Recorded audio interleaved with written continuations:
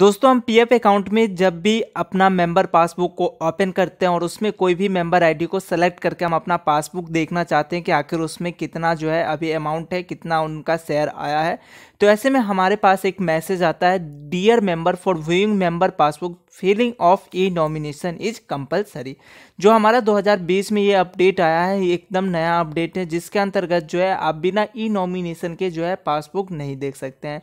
लेकिन एक ऐसा भी तरीका है जिसके मदद से जो है आप बिना ई नॉमिनेशन के अपना मेंबर पासबुक को आसानी से देख सकते हैं, उसमें चेक कर सकते हैं कि आपका कितना अमाउंट है, कितना आपका शेयर आया है। सो क्या प्रोसेस है? कैसे आप इन सारे प्रोसेस को कर सकते हैं? आज के इस वीडियो में मैं आपको हर चीज़ जो है complete A to Z step by step करके दिखाने वाला हूँ। ये जो वीडियो है, हंड्रेड परसेंट वर्केबल है। इसलिए वीडियो को पूरे लास्ट तक देख लीजिए।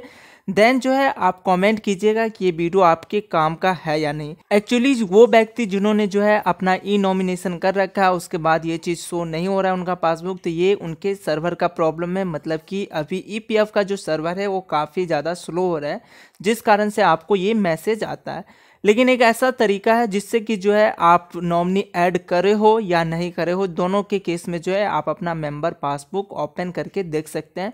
सो चलिए हम वीडियो को स्टार्ट करते हैं। उनसे पहले चैनल पे पहली बार आए तो एक छोटा सा रिक्वेस्ट है। चैनल को सब्सक्राइब कर लीजिए और बेल आइकन को प्रेस कर लीजिएगा। तो इसके लिए हमें चलना होगा अपने फ़ोन के स्क्रीन पे और वहाँ पे जो है हमें एक छोटा सा एप्लीकेशन डाउनलोड करना होगा। प्ले स्टोर में एप्लीकेशन मिल जाएगा, जिसका नाम है उमंग।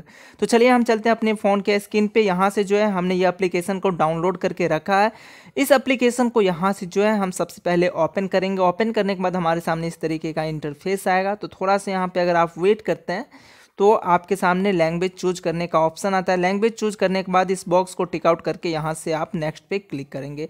उसके बाद यहाँ से जो है आप सर्च बार का ऑप्शन आ रहा है। सर्च बार पे क्लिक करेंगे तो आपको यहाँ पे बोलेगा सबसे पहले रजिस्टर्ड या लॉग करने के लिए। चलिए हम यहाँ पे रजिस्टर्ड पे क्लिक करके और यहाँ पे अपना मोबाइल नंबर डाल के ओटीपी वेरिफिकेशन करवा लेते तो आप भी जो है अपना कोई भी मोबाइल नंबर यहाँ पे डाल सकते हैं।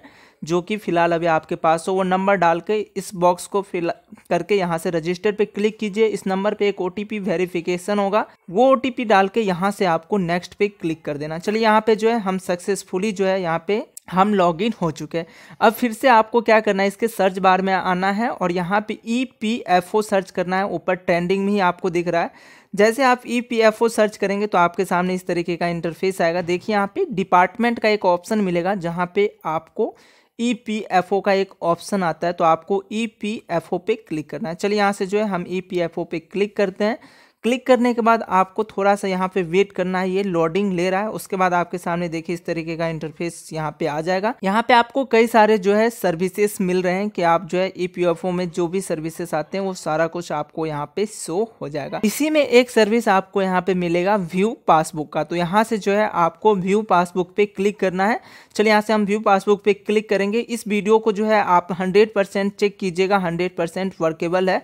तो चलिए यहाँ से हम व्यू पासबुक पे क्लिक करते हैं। व्यू पासबुक पे क्लिक करने के बाद हमारे सामने इस तरीके का इंटरफेस आएगा, जहाँ पे जो है हमें अपना यूएन नंबर डालना होता है। तो इंटर यूएन नंबर में आपको अपना यूएन नंबर डालना है और साथ ही यहाँ से गेट ओटीपी पे आपको क्लिक करना है। आपके यूएन नंबर पे जो भी नंबर रजिस्टर्ड है, उस पर एक ओटीपी जाएगा तो वो ओटीपी आपको जो है इस वाले बॉक्सेस के अंदर इंटर ओ के अंदर फिल करके सबमिट पे क्लिक करना है। यहाँ पे हो सकता है सर्वर ज़्यादा डाउन होने के कारण जो है आपका ये लोड ना ले, लेकिन ये हंड्रेड परसेंट काम करता है। आप इसे दो से तीन बार या कुछ समय के अंतराल के बाद अगर आप इसे ट्राई करते हैं तो ये हंड्रेड परसेंट वर्केबल होगा। चलिए यहाँ से जो है हमारा ओटीपी जा चुका है। हम इंटर ओटीपी में अपना ओटीपी फिल करते हैं और ओटीपी फिल करने के बाद जो है हम यहाँ पे सबमिट पे क्लिक करते हैं। जब आप अपना ओटीपी फिल करके सबमिट पे क्लिक करते हैं तो देखिए आपके पास जो है इस तरीके का इंटरफेस ओपन हो जाएगा, जहाँ पे आपको सबसे पहला अपना जो है एम्प्लॉय आईडी जो है मेंबर आईडी जो हमारा होता है, जिस भी कंपनी का हम पासबुक देखना चाहते हैं, उस पर हमें क्लिक करना होगा।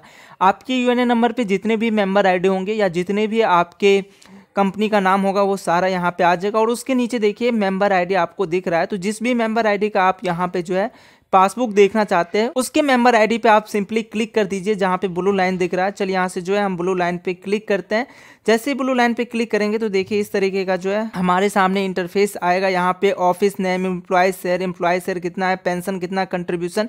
नीचे आएँगे तो देखिए इनका प्रॉपर यहाँ पे फंडा मिल जाएगा। और यहाँ से डाउनलोड का आपको ऑप्शन मिल रहा है। डाउनलोड पे क्लिक कीजिए, अलाउ कीजिए। आपका जो पासबुक है, जिस मेंबर आईडी के लिए आपने सेलेक्ट कराया उनका पासबुक आपके सामने यहाँ पे ओपन हो जाएगा। तो इस तरीके से जो है दोस्तों, बिना आप नॉमनी ऐड करे अपने यूएन नंबर का पासबुक चेक कर सकते हैं। ये हंड्रेड परसेंट वर्केबल तरीका एक बार मैं आपको और बता रहा हूँ। अगर आपको फ़िलहाल ये ओपन नहीं हो रहा है तो कुछ सेकेंड बाद, कुछ समय बाद जो है आप फिर इसे ट्राई कीजिए, ये हंड्रेड काम करेगा। तो आई होप आपका सारा कंसेप्ट क्लियर होगा। पीएफ रिलेटेड कोई भी इन्फॉर्मेशन चाहिए या कोई भी आपको हेल्प चाहिए तो नीचे आपको नंबर मिल रहा है, वहाँ से जाके आप हमसे डायरेक्ट जुड़ सकते हैं कॉल करके पूछ सकते हैं। चलिए हमें दीजिए थोड़ा सा समय, हम मिलेंगे नेक्स्ट वीडियो में बहुत ही जल्द।